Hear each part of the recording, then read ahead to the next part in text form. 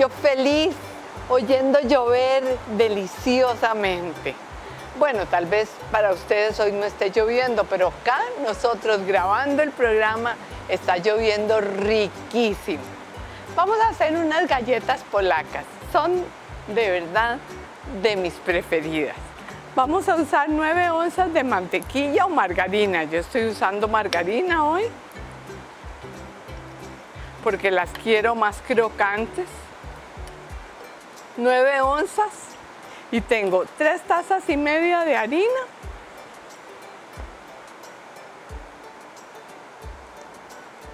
Y dos cucharaditas, creo que de polvo de hornear, ya les digo.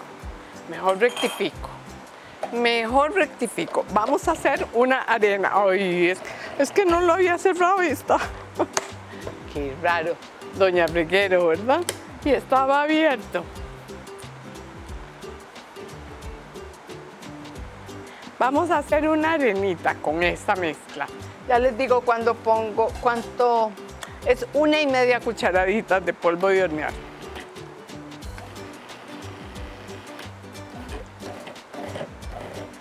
Vamos a hacer esa arena. Vean, ya está.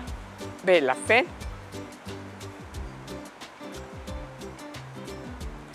Le vamos a poner una pizca de sal. Siempre vamos a usar la sal. Y vamos a poner una yema de huevo y entre 150 a 200 gramos de natilla. Ahí está la yemita de huevo.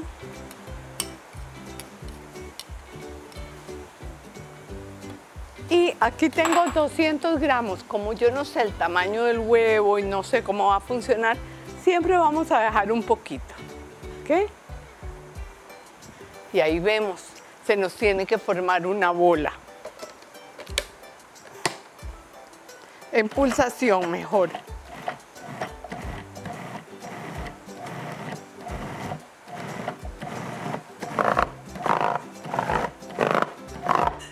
Ahí estamos. No se llevó los 200, se llevó 150 más o menos.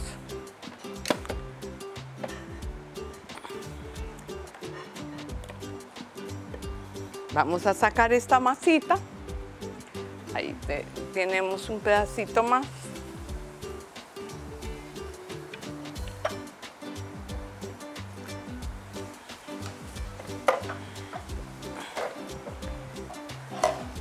Aquí tengo un poquito de harina extra para como terminar de asentarla. Vean que quedó pero perfecta, ¿ah? fina. La voy a poner en una bolsa y la voy a dejar reposar.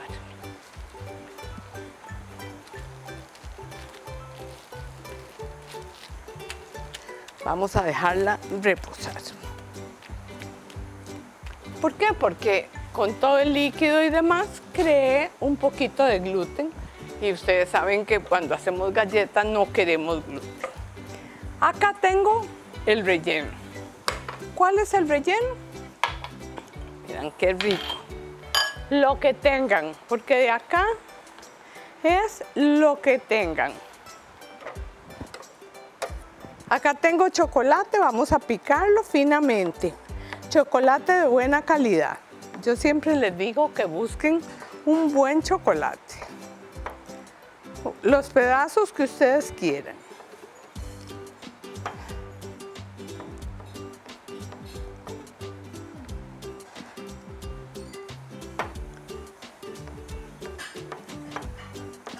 Vamos a picarlo porque va a ir, eh, la galleta va a ir enrollada y vamos a poner todas estas cosas, todas estas delicias que tengo acá.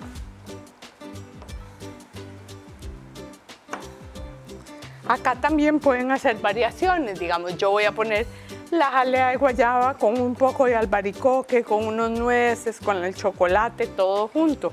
Pero si ustedes quieren hacer diferentes, hacen unas con, con este, pecanas, con azúcar. yo me voy a quedar picando este poquito de chocolate mientras van a ver algo que tiene 13 Costa Rica Televisión para ustedes. No se me vayan.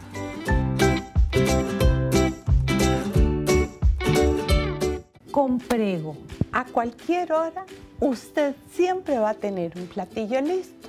Y es que sus salsas son maravillosas. Está la salsa tres quesos, está la marinara, está la sabor a carne, está la tradicional, la de hongos. Ay, pero esta es mi preferida. Es una salsa blanca que tiene ajo rostizado y queso parmesano, imagínese. Ay, no, no, es que esta, no, es que yo no sé cuál de las dos me gusta más.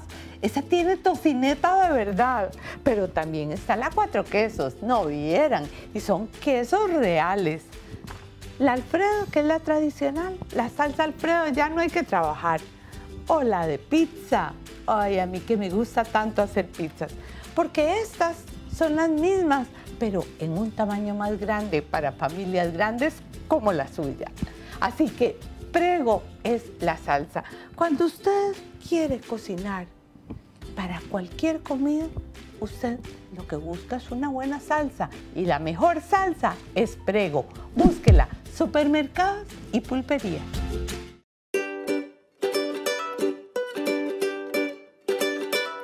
Estamos de regreso y yo sigo picando el chocolate porque vieran a mi familia lo que les gusta cuando ese chocolatito resalta. Bien. Tengo acá pecanas, pueden ser nueces y pueden no ponerle, ¿verdad? Esto es también, ustedes pueden rellenar solamente con la jalea. La idea es hacerlas diferentes pero vamos a picar finito para que la hora de partirlas no nos cueste mucho. ¿Qué? Parece mentira, pero ahí hay detalles importantes. no vieran cómo cuesta partirlas, porque se resquebrajan mucho.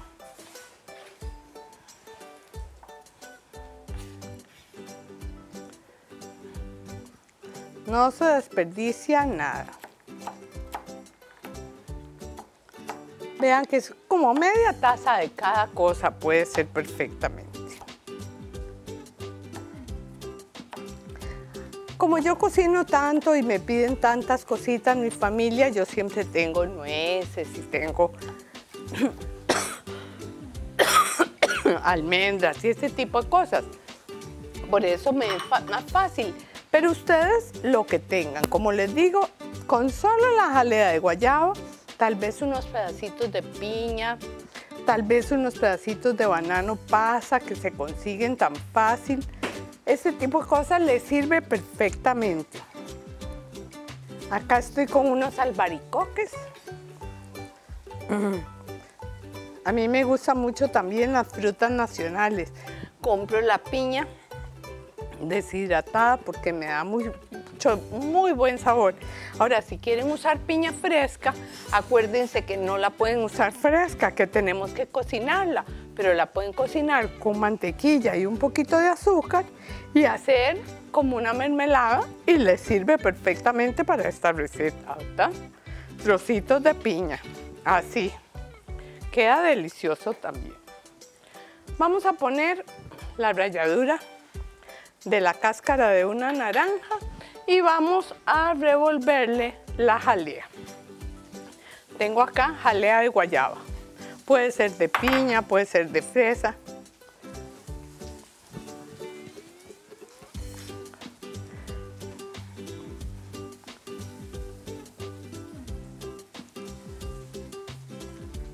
Vean qué bueno se ve este relleno. Y lo dejamos aparte. Hoy, ¿cómo les quiero recomendar este cuchillo? Este es un cuchillo de Tescoma, el gran chef. Hoy es que de verdad tienen una hoja muy delgada, entonces afila, pero que es un gusto. De verdad que da gusto tener un cuchillo Tescoma. Búsquenlo en tips. Ok, ya aquí estamos. Y tengo que limpiar muy bien la superficie acá porque vamos a estirar. Y también una lavadita de manos. Porque el chocolate hace sus, sus desastres. Bueno, después con agüita tibia me quito el resto, pero por lo menos así puedo trabajar. Bien, harina extra. Y vamos a dividir mentalmente esta, esta masa en seis trozos. Seis trocitos. Bueno, ni tan mentalmente. Voy a coger el cuchillo.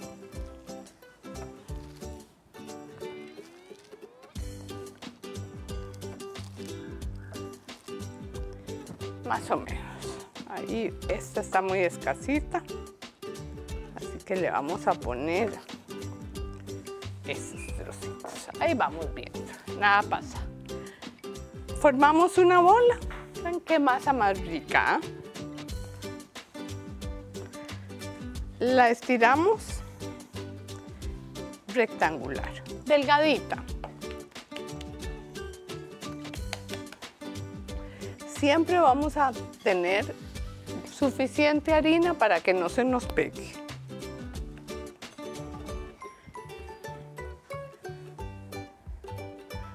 Es una masa demasiado fina, demasiado linda.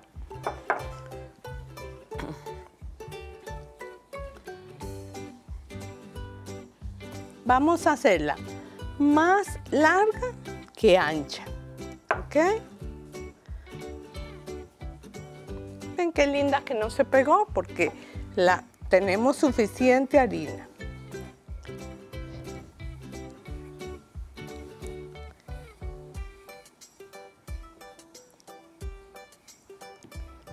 Y ahora sí.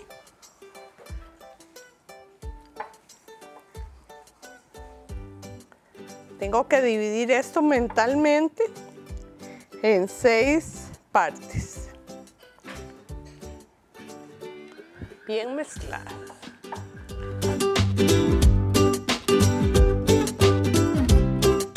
Ustedes saben que la sazón perfecta se logra con badía. La verdad es que la hemos tenido por mucho tiempo, pero ahora tiene productos nuevos especiales. Para usted que necesita hidratarse, aquí está el agua de coco, pero con la pulpa, imagínese. Está también la leche de coco para cocinar. Y este mojito para adobar todo tipo de carnes. Ah, no, pero este fue lo máximo, el jengibre cristalizado. Esto para los queques y todos los postres es maravilloso. Bueno, estoy como chiquita con juguete nuevo porque llegó la sal de Himalaya, la rosada. Y usted la puede tener en la mesa también porque ya tiene molino. Vean, qué maravilla. Bueno, ¿qué les puedo decir? Que ya hay chía con badía. Y también tenemos un jalapeño molido. También tenemos el jengibre molido, tenemos el Old Spice. ¿Saben qué? ¿Para qué es el Old Spice? Para los queques de Navidad. Es perfecto. Si a usted le gusta hacer gallo pinto, quiero que pruebe este condimento de verdad. Uy, sabor y olor. También está, por supuesto, la mostaza en polvo que no teníamos en el mercado y a veces se usa. El condimento cajún para los que nos gusta la picardía en la comida y el ablandador de carnes. Aparte de toda la gama de sabores que tiene Badía, ¿verdad? No nos olvidemos de ello también. Así que la sazón perfecta, usted la consigue con Badía.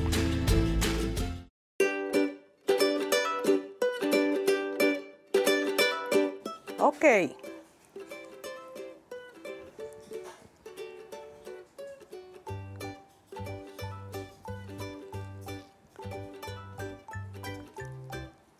cuando compran jalea no compren la de bolsa, porque es muy suavecita, entonces se nos riega todo. Compran una jalea compactita.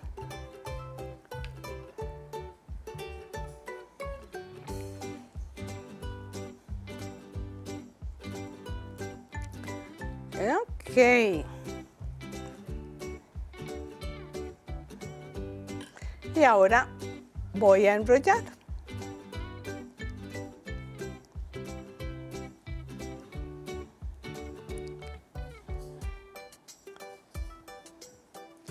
Cierro las puntas.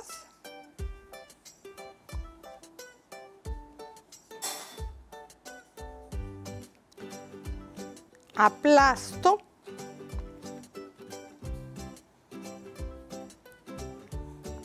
Y coloco en una bandeja que está forrada con papel parchment. Ok, vamos a seguir con otra. Igual. Hacemos eso seis veces. Esto lleva doble horneado. Estas galletas. Llevan la primera horneada el rollo más o menos entero, pero van a ver que ahora le voy a hacer unos cortes ya, como tenerla, manejarla de una vez. Y después, cuando ya está durita, la parto bien y pongo una a la parte de la otra para que se tuesten por todo lado. Ese es el secreto de las galletas. Que deben quedar tostaditas, tostaditas.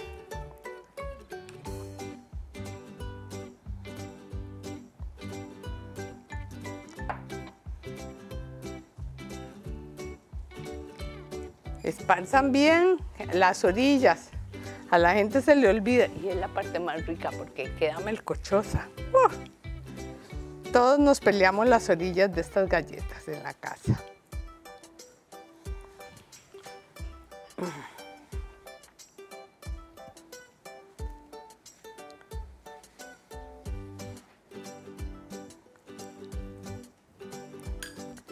Y enrollo.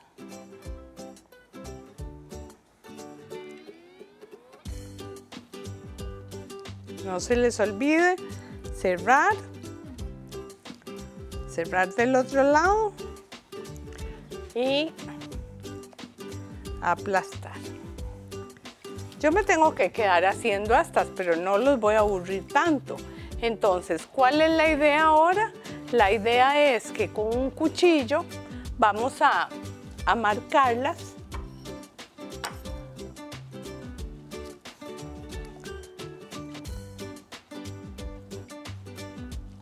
no las lleguen hasta abajo. Nada más es marcarlas.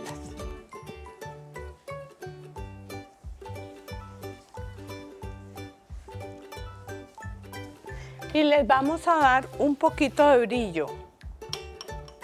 Acá tengo una clara de huevo, barnizo y al horno. Precalentado en 350. Venimos en un momento cuando yo desarme esto.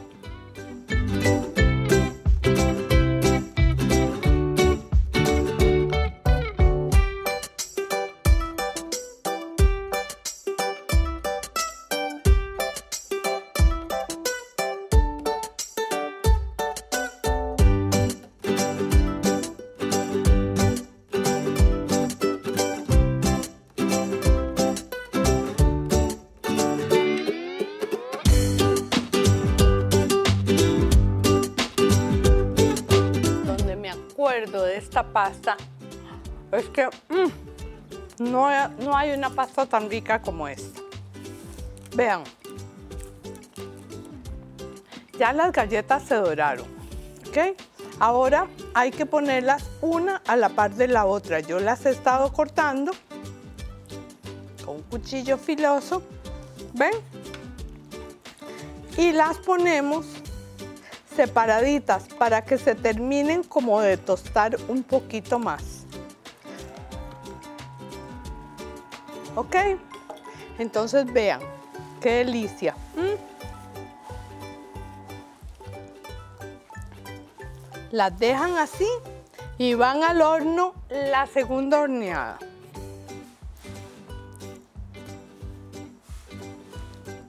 Sepárenlas un poquito, estas están muy juntas. Entonces yo lo que hago es, ¡ay Dios! Esto es una galleta casera. Esto es una galleta para tomar café. Y así me voy al horno de nuevo.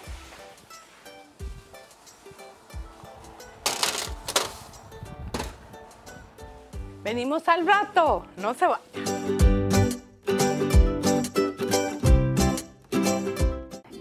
Viendo estas aceitunas de salad y estoy pensando todos los productos maravillosos que se hacen con esa pequeña fruta, la oliva. Y es que el aceite de oliva salad es maravilloso. ¿Por qué? Porque le sirve para freír, para hornear o para cocinar. Use sobre todo el virgen para freír y use el extra virgen para todo lo que son sus ensaladas y cocina en frío. Uy, porque tiene un sabor inigualable.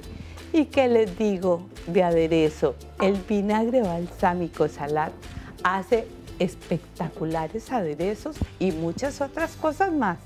Así que póngale sabor, deleítese con salad. Acuérdese que cuidamos su salud y deleitamos su paladar con salad.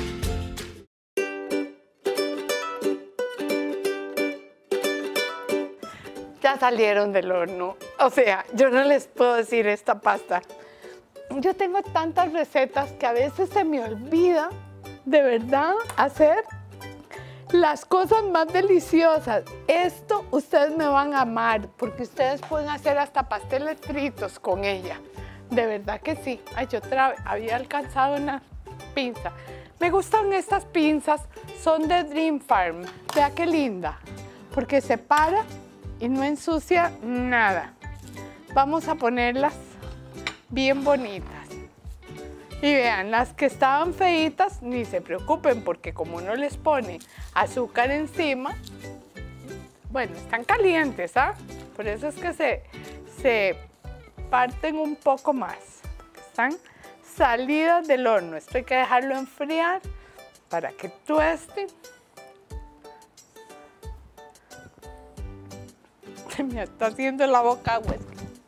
Pues son de ricas pero de verdad, son una delicia. Ha sido un placer inmenso estar en la casa de todos ustedes. Ojalá que se atrevan y hagan esta receta que estoy segura que va a ser ganadora. Y después acuérdense que se llamaban galletas polacas, porque hay veces que me dicen, aquellas galletas y yo, Dios mío, ¿cuáles serán? Hemos hecho tantas y tengo tantas. Bueno, ya no los canso más. Vayan a hacerla. Fácil, fácil, fácil. Un poquito de margarina, un poquito de natilla y tenemos cosas deliciosas para tomarnos un cafecito ahora más tarde. Usted lo vio Sin Secretos. Acuérdese que mañana esta receta va a estar en mi Facebook Sin Secretos con Doris. Hágalas y me manda la foto. Me va a encantar tener una foto de ustedes.